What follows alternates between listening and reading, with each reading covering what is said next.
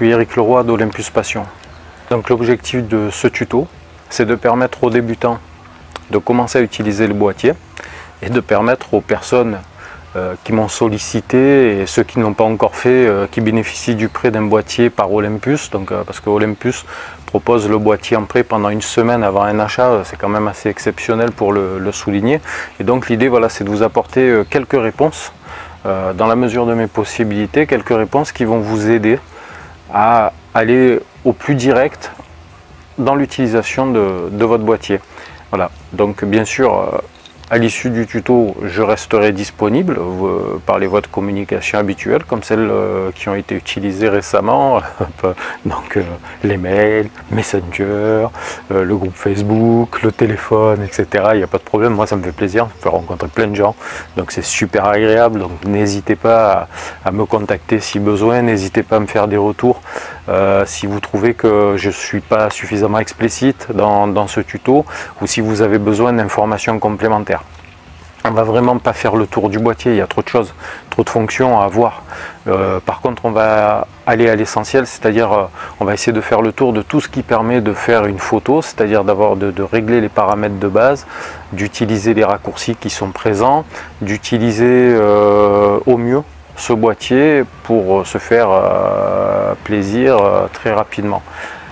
Personnellement, ça fait deux ans que je l'utilise, à chaque fois que je le prends, je me régale avec. C'est voilà, vraiment un boîtier euh, déjà qu'on peut avoir quasiment tout le temps sur soi. Là, j'ai le 60 macro qui est assez exceptionnel comme objectif. Euh, ça équivaut à, à un 120 mm. Euh, lorsque je faisais de la macro avec euh, mon ancien système de boîtier, j'avais euh, rien que le poids de l'objectif, c'est-à-dire un 150 macro, ça faisait, c'était plus lourd, il était plus lourd que l'objectif et le boîtier. Donc rien que ça, c'est un grand plaisir. Mais il y a la stabilisation, il y a tout ce qu'on va voir par la suite là, l'usage de l'écran comme pavé tactile en fait quand on a l'œil au viseur ça permet de déplacer les collimateurs le focus picking, etc. Il y a plein d'aides à la prise de vue euh, pour optimiser en fait les résultats de, réussite de sa photo. Voilà, donc euh, je vais essayer de pas trop m'étendre euh, là-dessus. Ce que je vous propose maintenant, c'est d'aller au pas à pas. à l'issue de cette vidéo, ben, n'hésitez pas à liker la vidéo, bien sûr, à rejoindre le groupe Facebook, à venir vous abonner sur, euh, sur ma chaîne YouTube et euh, à vous abonner aussi, pourquoi pas, au, blog Olympus Passion. L'idée, c'est euh, de partager, d'échanger tous ensemble qui utilisons des boîtiers Olympus. pourquoi? Ben, Parce que ça va aider, ça va nous permettre d'avoir de l'entraide entre les uns et les autres et euh, l'expérience de chacun profitera euh, aux autres. Donc il faut vraiment être dans cette idée-là, il ne faut pas se prendre la tête.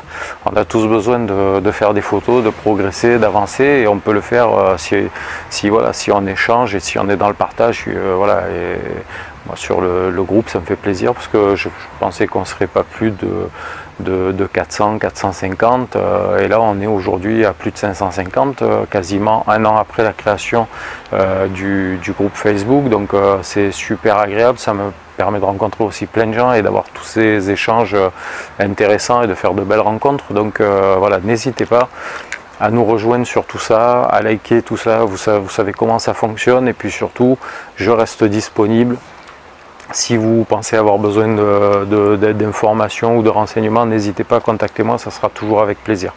Je vous souhaite de faire de belles photos, et euh, de les partager sur le groupe. Hein. Encore une fois, c'est un peu, lourd, mais comme ça au moins, au moins le message passe. Euh, et puis, euh, puis je vous dis à, très bientôt.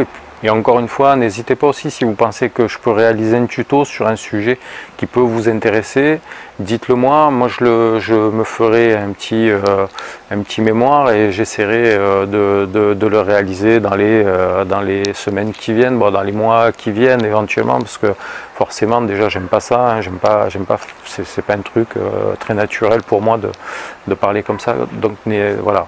Mais je le ferai, promis. Voilà. Donc euh, je vous dis à très bientôt, au revoir. Voilà, on commence enfin. Lorsque l'on appuie sur menu, on se retrouve sur cet écran. On a à gauche une série d'onglets. Vous voyez que la clé est en surbrillant jaune, ça veut dire que c'est l'onglet dans lequel on va euh, rentrer pour accéder aux sous-menus qui sont sur la droite. Je vais utiliser le pad horizontal. Donc en appuyant sur la flèche de droite, sur la partie droite du pad, ça va me permettre euh, d'accéder au sous-menu. Et de fait, on a le premier item, configurer la carte, qui se trouve en surbrillance jaune. Donc on va pouvoir modifier ou accéder en tout cas à ce paramétrage en appuyant sur la touche OK du boîtier. Là, on va rentrer, il y aura euh, effacer ou formater la carte. Même principe, euh, vous allez euh, à l'aide du pad, alors vertical cette fois-ci, ça vous permettra de formater ou d'effacer votre carte. Et là, on touche le principe déjà de déplacement dans les menus, c'est-à-dire qu'à chaque fois qu'un paramètre, qu'un item, etc. est en surbrillance jaune, ça veut dire qu'on va pouvoir y accéder en appuyant par la touche OK et donc modifier ou agir sur ce réglage ou ce paramètre. Une fois qu'on est à l'intérieur, on a plusieurs choix, soit le off, soit le on, soit des réglages multiples. Et à chaque fois, pour se déplacer, on utilisera soit les flèches verticales si le sous-menu est vertical, soit les flèches horizontales si le sous-menu est horizontal. Donc nous avons appuyé sur le bouton OK, ce qui nous permet d'accéder à cette fenêtre de dialogue. On voit qu'il y a euh, le choix entre les deux cartes SD, la une étant euh, celle qui euh, reçoit les cartes UHS-2 et qui se trouve dans le compartiment au niveau supérieur des cartes. Donc pour accéder au formatage de cette carte, il suffira d'appuyer sur le bouton OK et là vous aurez à nouveau un choix qui sera formater ou effacer la carte. Si j'avais voulu agir sur la carte numéro 2, j'aurais descendu la surbrillance jaune à l'aide du pad vertical en utilisant la flèche du bas. Ensuite, j'aurais validé par OK, ce qui m'aurait amené au menu effacer ou formater la carte. Donc maintenant, pour revenir en arrière, on va appuyer sur la touche menu, ce qui nous permettra de revenir à l'écran précédent. Donc on est revenu au menu précédent. Donc on a toujours configuré la carte qui est en surbrillant jaune. Et maintenant, en utilisant le pad horizontal, la flèche de gauche, je vais faire un clic, ce qui va me permettre de me retrouver sur l'outil tout en bas de la colonne à gauche et de le surligner en jaune. Donc en appuyant sur euh, menu, ça va nous permettre de sortir de cet écran et revenir à l'écran euh, de prise de vue, donc avec les informations d'ouverture, de vitesse, etc. Donc j'appuie sur OK de manière à appeler le menu général. Voilà, celui-ci nous permet d'accéder à tous les réglages, tous les paramètres qui nous permettent de réaliser une prise de vue. Donc on a euh, les ISO, la balance des blancs, on a euh, le mode de prise de vue séquentiel, donc là il est en mode rafale silencieuse puisqu'il y a un petit pictogramme avec le cœur.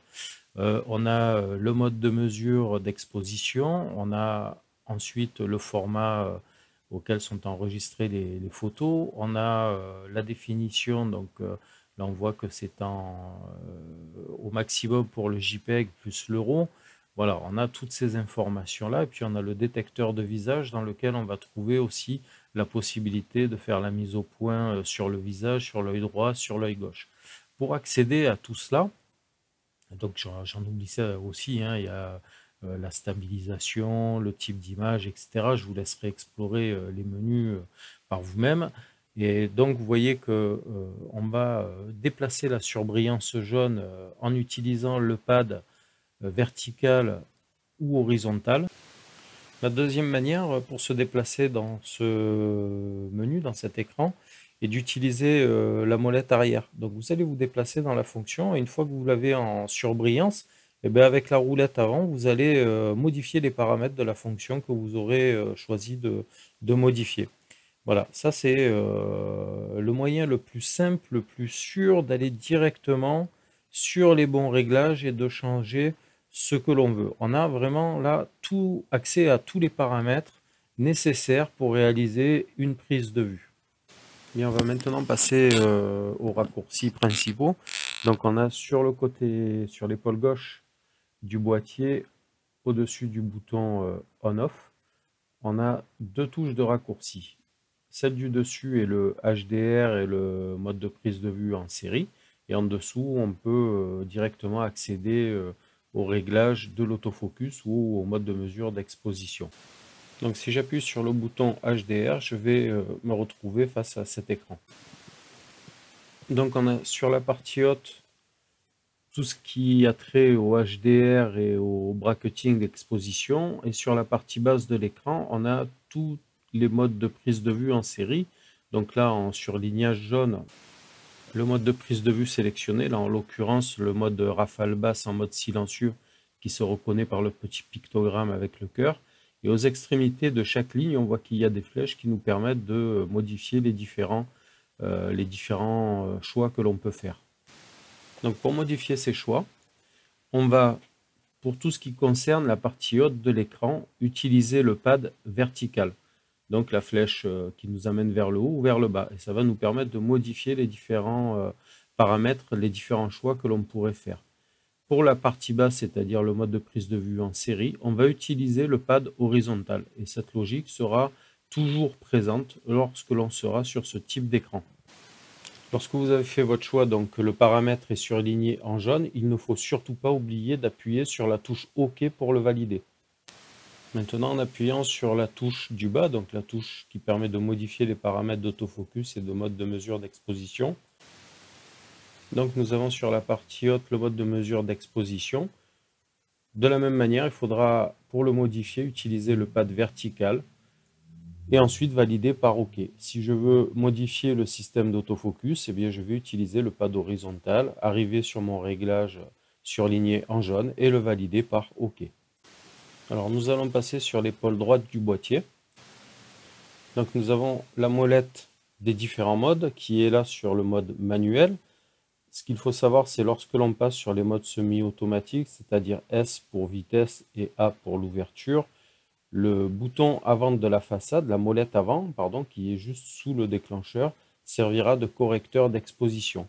La molette arrière, elle servira à régler le paramètre. C'est-à-dire que si je suis en mode vitesse, je vais régler la vitesse avec la molette arrière et je réglerai la correction d'exposition avec la molette avant.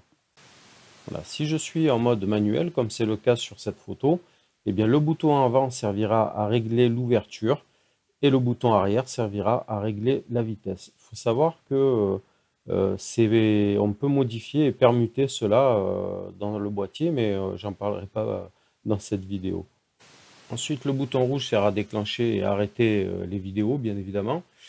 Et vous avez le bouton FN2 qui est en fait un outil courbe, donc qui va permettre d'agir sur les hautes lumières ou sur les, sur les ombres ainsi que sur les tons moyens. Donc on a la courbe qui est euh, en position neutre, on voit que les hautes lumières sont à 0 ainsi que les ombres. Et pour modifier cela, on va utiliser la molette avant pour modifier les hautes lumières et la molette arrière pour modifier les ombres. en bas gauche de l'écran, vous voyez qu'il y a ton moyen et euh, info est en surlignage blanc. Il faut donc appuyer sur le bouton info pour accéder à l'écran des tons moyens. Donc là, voilà. Et vous voyez qu'en bas à gauche, on a euh, lumière et ombre accessible par la touche info. Et donc là, pour modifier les tons moyens, on peut utiliser indépendamment la molette avant ou la molette arrière. Maintenant, nous passons au bouton de la façade arrière. Donc nous allons commencer par voir le bouton qui se trouve tout en haut, euh, qui s'appelle LFN. Donc on a au centre le bouton de mémorisation d'exposition de, de, blocage d'AFL. En mode de lecture d'image, vous avez, vous voyez la petite clé. Ça peut également servir à, protéger euh, une image euh, d'un effacement par maladresse.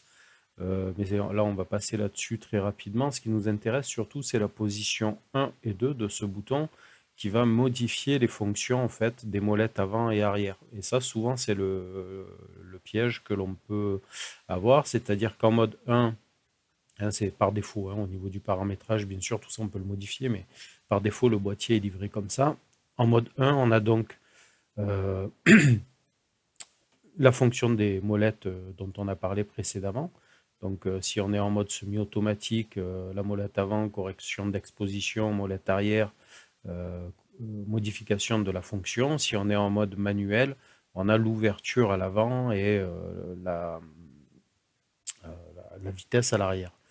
Donc, si je passe en position 2, eh bien, ça va modifier la fonction de ces deux molettes. C'est-à-dire que la molette avant va permettre de corriger les ISO et la molette arrière va permettre de corriger la balance des blancs. Donc nous aurons cet écran. Euh, vous voyez que les deux éléments en surbrillance, ce sont les ISO et la balance des blancs. Donc ce sont les éléments, enfin les, valeurs que l'on peut modifier. Bon, il y a aussi le, bouton du, déclencheur euh, par l'écran tactile, mais là pour l'instant c'est pas le, sujet.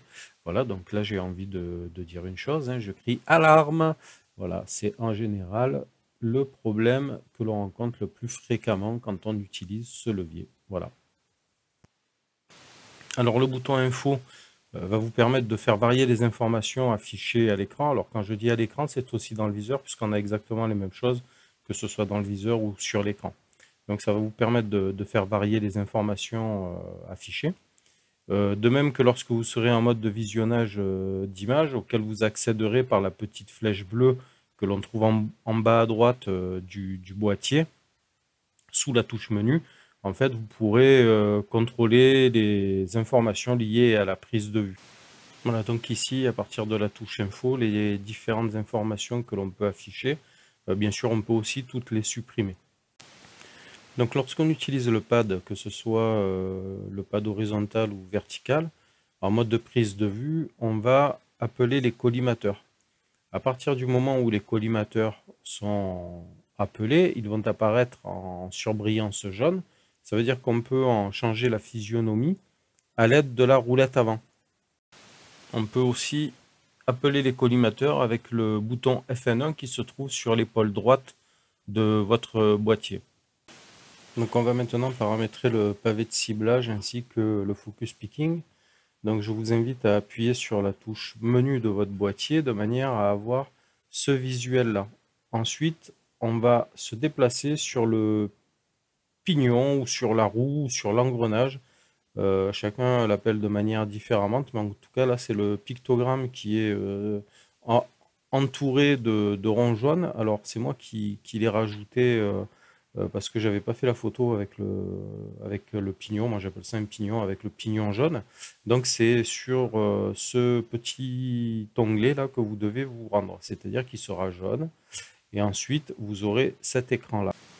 Donc en utilisant le pad, vous allez passer euh, du pignon sur la droite en utilisant donc le pad horizontal. Vous allez dans le menu A2 et ensuite vous allez sélectionner pavé de ciblage par défaut, il est sur off. Donc vous validez par OK et là vous allez avoir le choix entre on et off. Vous déplacez euh, la couleur jaune, on va dire, sur on et vous validez à nouveau sur OK. Donc maintenant le pavé de ciblage est activé. Donc vous allez pouvoir, avec l'œil au viseur, en ayant l'écran retourné euh, dans votre direction, vous allez pouvoir déplacer les collimateurs, etc. Vous allez voir c'est très intuitif et très efficace. Maintenant, on va passer à la mise en place du focus picking. Donc pour le focus picking, on va passer euh, du sous-menu A2 au sous-menu A3. Donc avec le pad droit, on va sur assistant MF. On valide par OK. Donc on a ce menu. Donc vous voyez gros plan, gros plan. En fait, c'est l'activation de la loupe. Et euh, si vous validez sur On, vous activerez la loupe simultanément au passage au manuel focus. Personnellement, j'aime pas ça, mais vous pouvez essayer, pourquoi pas. On peut activer euh, la loupe de différentes manières. Là, en l'occurrence, on va descendre sur intensification, donc avec le pad vertical, de manière à avoir intensification. Donc on va sur euh, intensification, on va suivre la petite flèche à droite avec le pad horizontal droit, et donc on aura on ou off. Donc on va valider on, et on n'oublie pas d'appuyer sur OK pour confirmer euh, son choix. Voilà. Maintenant, le système de focus picking est activé, donc ça fonctionne très bien en manuel focus. Ça va vous permettre d'avoir une zone euh, de, de, zébra d'une couleur différente. Par défaut, c'est rouge, je crois. Donc, c'est une couleur que vous pouvez changer. Ça vous aidera à assurer vos mises au point en manuel. Voilà. Maintenant, on arrive à la fin de ce tuto. Il est très long. Je m'aperçois qu'il fait plus d'une vingtaine de minutes. Voilà, donc euh, j'espère que ce tuto va vous aider. En tout cas, ben, j'espère ne pas avoir été trop rébarbatif. Bon, c'est un petit peu long, mais je pense que c'était les, étapes indispensables par lesquelles il fallait passer pour euh, commencer à utiliser votre boîtier dans de bonnes conditions. En tout cas, c'est ce qu'il me semble. Alors, j'espère ne pas trop m'être trompé. Euh, en attendant, vous pouvez nous rejoindre sur le groupe Facebook, vous abonner à ma chaîne YouTube, sans oublier de liker la vidéo, bien sûr. Et euh, vous pouvez vous abonner également euh, au blog olympuspassion.fr. Je vous souhaite de faire de belles photos et à très bientôt. Au revoir.